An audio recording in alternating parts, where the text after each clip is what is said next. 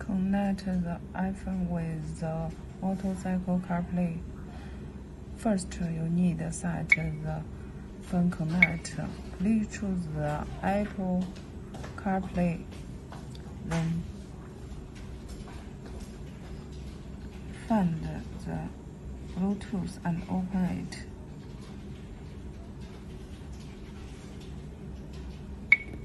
This is the Bluetooth name. You can connect it.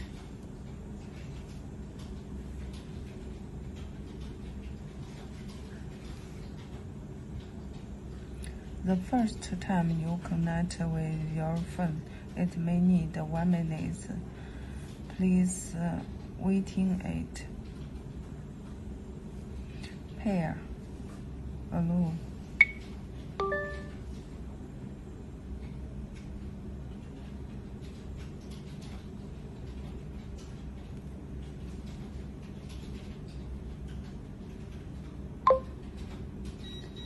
Okay, it connected uh, success. You used the iPhone, so you don't need uh, download any software. You just use it directly. When you want to change the other phone to connect the motorcycle Bluetooth, you must uh, power off the, this device. Power off this device.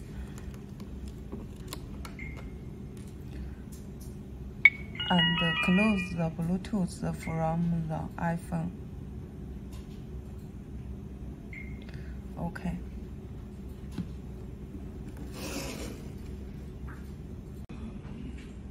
Use the Android phone connected with the CarPlay device. First, you need to download the Android Auto from the Google Play Store. This is the correct Android Auto software. Please make sure you download this one. If you download the wrong one, when you connect, we, it may need the, the password, but it cannot use so you download the wrong software. Now, after you download the software, you can you can you need to set the device connect. Please choose the Android Auto. Then now you can use the Bluetooth to connect this device. This is the Bluetooth name and connect it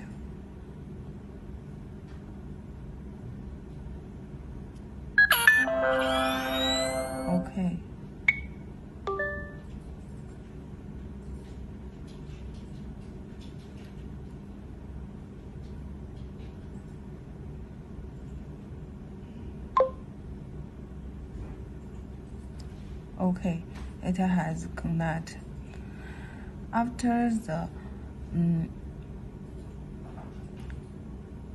Wi-Fi connect success, the Bluetooth will uh, disconnect automatic. It is normal. It's no problem.